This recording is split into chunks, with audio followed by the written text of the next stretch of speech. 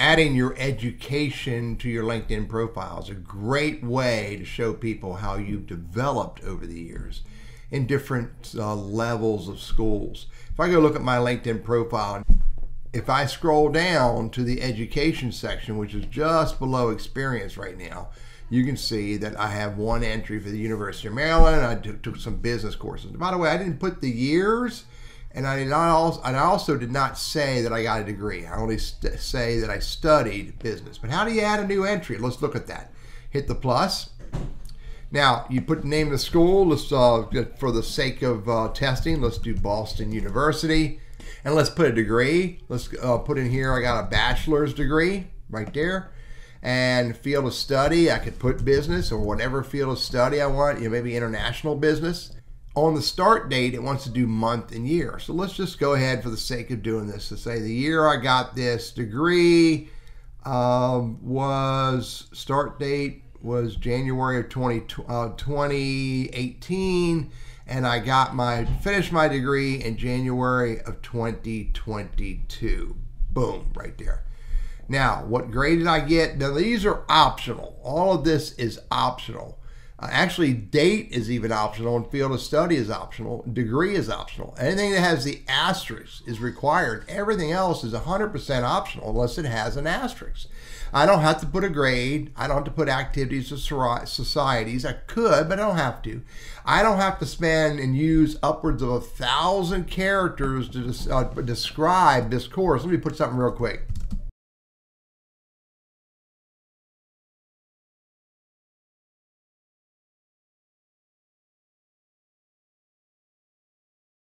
So a quick little description. I could have a picture of my degree, an actual, you know, certificate degree if I want to, uh, but that's it. There's no other magic. School is required. Nothing else is required.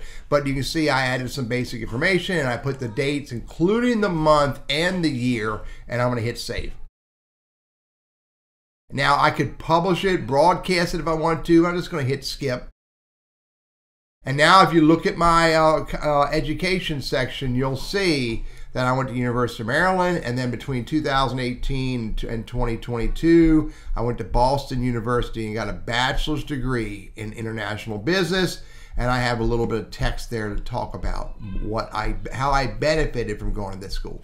That's as, as easy as it is. There's nothing else to do. Now, the next step I'm going to show you is how to do that in your mobile app. Hang on a second. Let me set that up. I'm going to show you how to add a new education entry to your LinkedIn profile on the mobile app. Go to LinkedIn. In LinkedIn, click up in the upper left hand corner on your profile picture and then click View Profile. And now, while you're viewing the profile, I can scroll down below Experience right here and go to Education. I hit the plus button in the Education box. Now, I can notify my network or not notify my network. Leave that off is for typically I would leave that off, especially when I'm backfilling data. Now, where do I go to school? I'm going to go with Texas A&M. Now, by the way, I could start typing. Let me get rid of that. Let me type, start typing Boston. And then as I'm typing, I can select Boston College or whatever I want. What is my degree I got? Maybe I got a bachelor's of fine arts. So you type, start typing bachelor's and you can see there's Bachelor's of Fine Arts right there. And then what was my field of study? Maybe it was international, INT, and then there's international relations. Now, by the way, anything without an asterisk, the only thing that has an asterisk is the school name. Everything else throughout this entire uh, entry, nothing else has an asterisk. Now, what about start date? So I can go to date, on mobile and I can go say it was January. So I can select January I started in 2018 and then the end date and I can say I finished it in May of 2022 now I can I'll uh, hit done to get out of that, and then I can enter in a grade if I want. I can enter in activities or societies. I can enter in a description. You get a thousand characters for a description, so you could say something meaningful about what you got from this degree, what you got from the experience, from the school, from the professors and your peers, etc., etc. You can add an image if you want to, maybe an image of your degree, maybe an image of the school. I would always look for what's relevant and important. And once you fill this all out, you hit save. And now I have the ability to broadcast this as a post if I want to. I can hit next to do that, or I can hit skip.